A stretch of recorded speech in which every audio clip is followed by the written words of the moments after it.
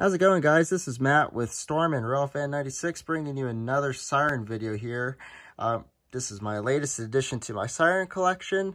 This is a brand new, or a newer I should say, Auto-Matic OC-9 12 volt siren.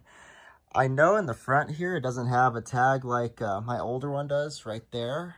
However, uh, with the older one, you can see on it's stamped on the body OC-9. If we look over here with this one, embedded in the paint there, you still have that same stamp.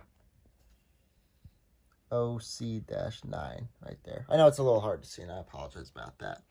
This is a really nice looking siren for how old it is. It runs great. She looks great. I mean, it's a great siren. So let me go ahead and give you all a demonstration here. Again, this is 12 volts DC.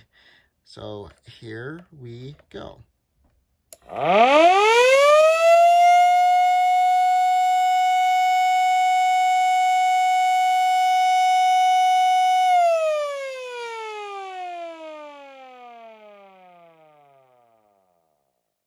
Yeah, so that's the newest addition to my collection. Um, there's the chopper under there. I know it's a little hard to see. Hang on. Right there. It's the chopper. Yeah. So, yeah. So, I love this thing. It's a great addition to my collection. And I like having this thing. It's it's cool being able to compare the looks between the, you know, the, the two.